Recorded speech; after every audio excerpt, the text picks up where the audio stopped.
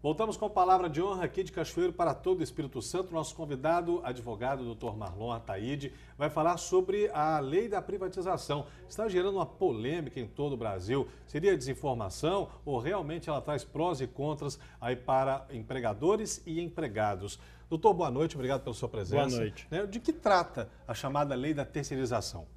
É, a, na verdade, a terceirização ela não é regulamentada no Brasil. Ela está ela é, é, regulamentada através de jurisprudência, mas principalmente através de, de uma jurisprudência TST, uma súmula que a gente chama. Não tem nada já definido, já padronizado? Não, não tem nada padronizado. Então, o que, que acontece? Nós temos 15 milhões de empregados ligados a empresas de terceirizadas, sem uma regulamentação específica. O que, que muda se essa lei for aprovada no Brasil? Bom, aí tem a turma dos sindicatos, né? E tem os empresários. Isso é um conflito, até que isso seja afinado. É, os sindicatos falam que é, essa lei vai trazer malefícios, precarização dos direitos trabalhistas. Vai diminuir salário, a, o aumento do risco, o aumento de corrupção, uma série de coisas. E os empresários defendem o contrário, justamente o contrário. Por não ser uma profissão um, nicho de mercado trabalhista não regulamentado, vai aumentar o número de empregos, é, vai aumentar as garantias dessas 15 milhões de pessoas, já que não tem lei, vai passar a ter uma lei com exigências para, para as empresas que, que os empregam, né? É, sem falar o aumento de arrecadação de impostos com o aumento de, de vagas preenchidas. Olha, doutor Marlon, essas empresas terceirizadas, elas têm que cumprir rigorosamente as leis trabalhistas, os direitos dos trabalhadores, assinar carteira, 13 terceiro, FGTS, por aí vai? Sim, sem dúvida. Inclusive hoje elas fazem isso. O problema é que muitas terceirizadas é, não trabalham dentro da lei e acabam quebrando e deixando aquela massa de funcionários com problemas e atingindo a empresa principal. Por quê? Como está sem regulamentação, a empresa principal que obteve é, o trabalho desses trabalhadores terceirizados, ela responde junto com essa empresa que, entre aspas, quebrou, faliu ou sumiu. Né? Então, o grande problema da, da empresa terceirizada é esse. Agora, a gente acompanhou aqui na Record News os protestos em todo o Brasil, aqui no Espírito Santo, é, nas principais cidades e capitais. Quer dizer, a classe sindical é totalmente, é veementemente contra né, a terceirização. É, não toda a classe sindical. Na verdade, tem umas duas ou três centrais sindicais que são contra, mas a grande maioria é até a favor, desde que mude alguns, alguns parâmetros da lei.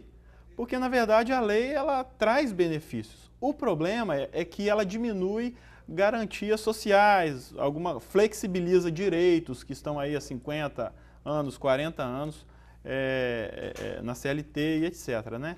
Mas essa flexibilização é necessária na medida em que se aumenta a concorrência. Então, os mercados da, europeus, os mercados é, dos Estados Unidos, os nossos produtos acabam perdendo concorrência para esses mercados que têm leis trabalhistas mais modernas.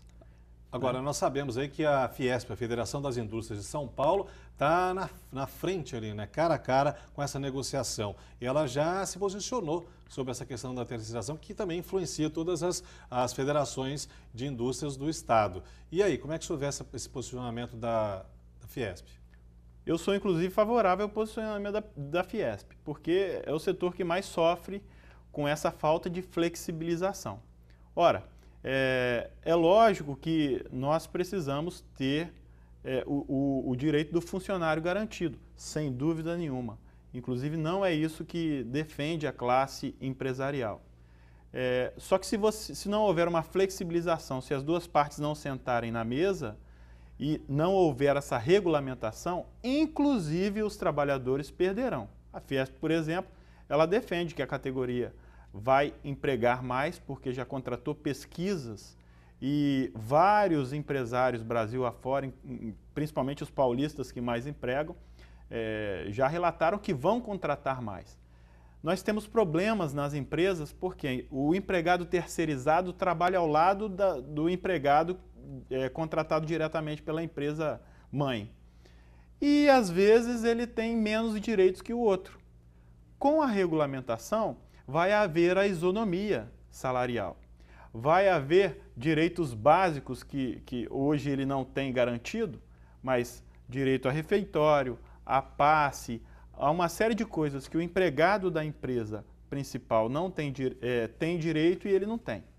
Então, assim, é, pela ótica do empresariado, é lógico, é, trarão muitos benefícios para eles. Ok. Doutor, muito obrigado pela sua vinda aqui no programa. É, que conselho o senhor dá, principalmente para o trabalhador? Né, que talvez não tenha tanto acesso a esses detalhes, ainda está inseguro, seria procurar realmente centrais sindicais, procurar os advogados é, trabalhistas, se informar melhor. É, qual a, o caminho para que a população também tenha um pouco mais de segurança né, do que está sendo feito com seus direitos, já garantidos em lei, né? Uma das coisas que, que eles defendem é que vai haver uma substituição para menor dos funcionários, porque a terceirizada oferecendo é, um custo mais baixo vai, vai fazer com que o funcionário da empresa principal saia, ou seja demitido.